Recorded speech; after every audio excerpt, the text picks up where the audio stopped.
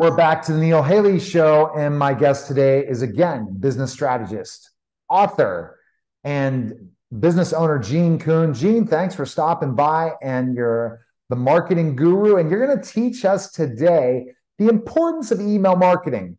A lot of times, people are just focusing all their time on TikTok, on Instagram, on Facebook, and yet they don't have people they can communicate with each and every week who are really the valued people who understand them. Absolutely.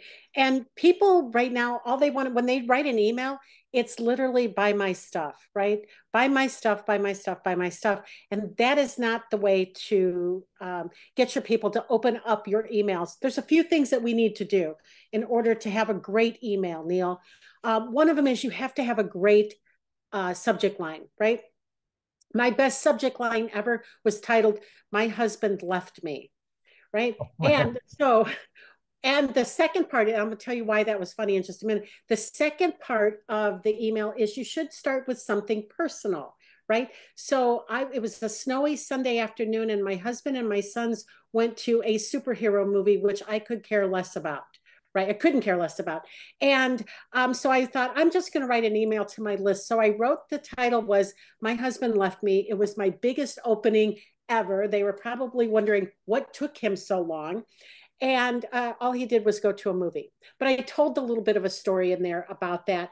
And that's really that personal piece should be a story about what's going on in your life, right? Now, I wouldn't bring in I wouldn't bring in drama.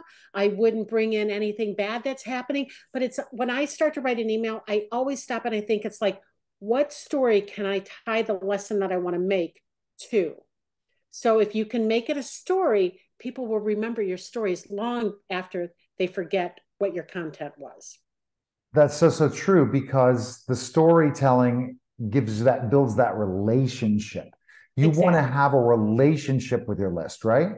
Exactly. Uh, as a matter of fact, this is a really good example. When I had the chocolate stores, um, my daughter graduated college and she had worked in that store since she was 12 years old.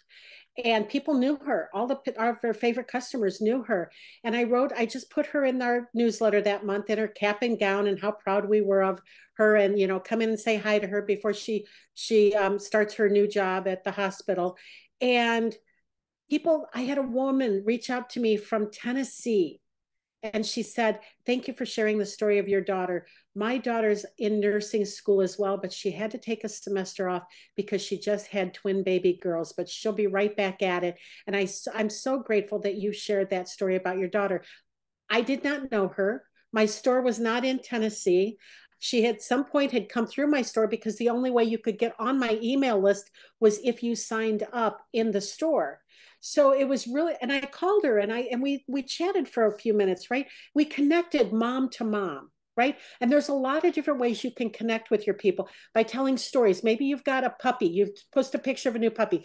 By the way if you show me a picture of a new puppy neil you and i are best friends forever whether you want to be or not so that's one way. Now, what happens if you're a cat person? Well, here's how you handle that, right? You get rid of the cat and you get a new puppy, and then we can connect again, right? So you, there's always, we'll connect over children, we'll connect over food, we'll connect over um, experiences, right? So when you write a story to start with a little personal story, you're right, it gives them an insight to who you are authentic, authentically and why they might want to connect with you. I love that because you're really making that connection off of opening the email to see the the subject matter. Okay, I'm going to check this out because I want I wonder what Jean has to say, and that's the beginning opener to get to capture that reader's attention, right? Mm-hmm. Exactly. But you you cannot listen. Your all of your headlines cannot be um, so staggeringly you know i call them Huff, huffington post headlines. They can't be huffington post or inquirer headlines right? You actually have to talk about what your headline is about or you'll lose all credibility and nobody will open your your email again. So um, number two you have to put a little bit of education in there right? A little bit of education. So i've actually given you two so maybe there's five. Subject line something personal Three is education. You've got to give them a little bit of education about what you do or the problem that you solve for people, right? So that's how I always tie my personal story into a business lesson. That number three is it has to be, you can include something else of interest for them in your newsletter. Um, when I was writing for the chocolate store, I would include a recipe. But now that I'm, I'm in the strategy business, I will include a video of the week. I will include something that I have, a training that I have coming up. I will include um, what might be, what extra trainings I might do or bringing people in to speak or whatever that is. I always have something in the subject line. I, I'm sorry, on the right hand side of my newsletter I always have something on the right hand side of my newsletter that tells people what's up and coming, or here's something you might like, something that may interest you. And then number four is, or number five is a call to action, right? You have to have a call to action in your newsletter. What do you want them to do? Do you want them to click here? Do you want them to buy something? Do you just want them to download a new freebie that you might have, another lead generator that you might be offering? All of these are just different ways to uh, get people on your list and share it with other people. You so might once, even say once, that once, once you capture that reader's attention and you go right into the uh, you know the the education portion, is it you you try to come up with a theme for each email? Yeah, absolutely. I sometimes I will sit here for an hour or two till I come up with the right story, or I'll start writing it, and then I, as I'm writing, I'm like, oh well, that that personal story has nothing to do with the business lesson I want to teach. So I will literally erase it all and start over. And that business lesson is so important because they see your expertise and that's when they want to contact you, right? From exactly. That- and and here's the other thing is, and I know you're a big fan of AI, and a lot of people are really big fans of AI. I don't want AI writing anything that comes out of my, if it comes off my desktop, it's something I hand wrote with no help from AI, right? You know why? Because it's my AI will never write like I write. AI will never tell funny stories like I like to put in my news my newsletters. AI, um, yeah, I don't see me and AI getting along too well, right? I'm a, I'm a maybe a little control freak there that I don't want AI taking over my job. Well, then I'll have to show you because specifically what we can do is basically you can write your email same way through AI, and then AI will help you with the best call to action because what they are able to do is they understand specifically what people want humanly. You have to put your input into this. If you input, output.